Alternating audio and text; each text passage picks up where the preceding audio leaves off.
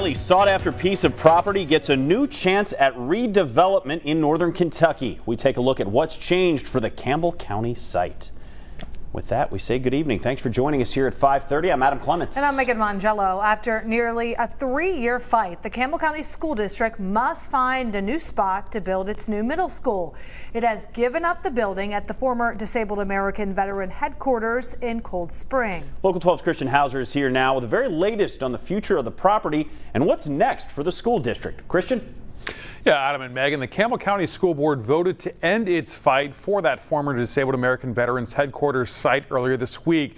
Now, it had been pursuing the site since September of 2020. At that time, the district says that a new middle school would have cost around $42 million.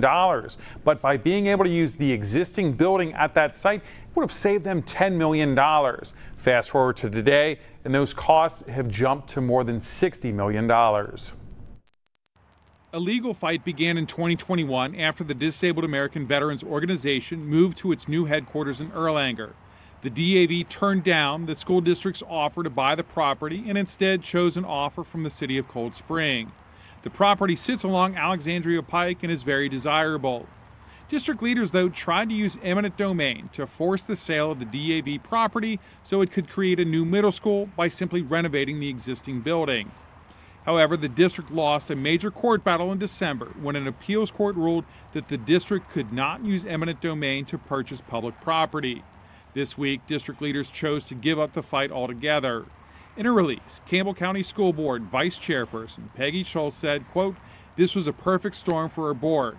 At the time of the initial decision, the DAV property was an excellent property for future development of the second middle school. However, lingering circumstances have changed dramatically and unexpectedly.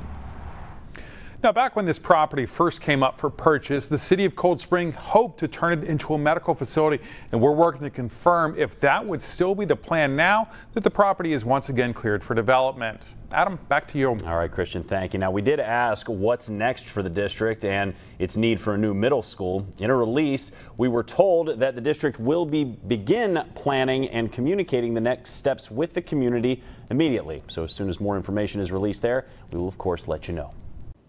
Sure, you could stop watching now, but let's be honest, you want to see more. So click some of those links, or better yet, go ahead and tap subscribe. That way you'll catch more content from Local 12.